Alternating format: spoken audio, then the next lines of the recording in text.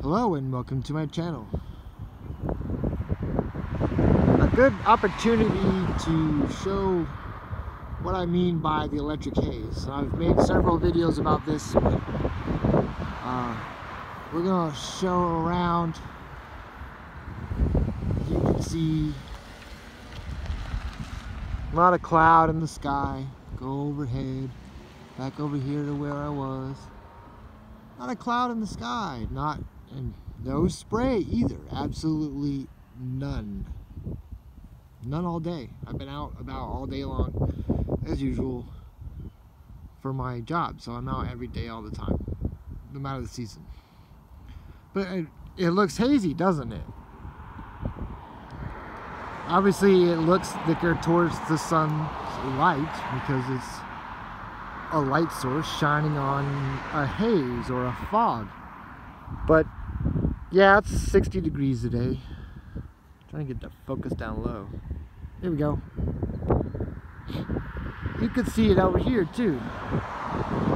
But you know, if you're like driving down the road with your headlights on and through a fog bank, you can obviously tell where your headlights have, are shining back on you. You can't use your high beams in fog because it blinds you because all the light reflects off the moisture in the fog. Well, the Cherenkov radiation, aka what I call electric haze, the ionization of the atmosphere,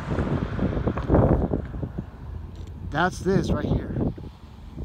You can see this year round. It looks like a 90 degree hot, 90 degree hot hazy day, uh, but it, it's not.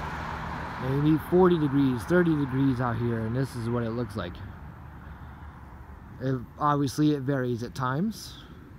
This is a very thick day. One of the thickest days I've ever seen, so over the years as I've been watching and recording this, uh, it's escalating and getting worse. So, just wanted to give you guys this example. Check out Cherenkov radiation, learn about ionization of the atmosphere. Though that's your homework, as usual, learn to like your search engines.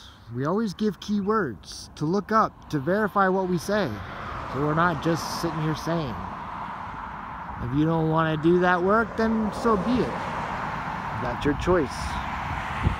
But don't sit here and run your mouth at me because you don't want to be bothered and you don't agree with me.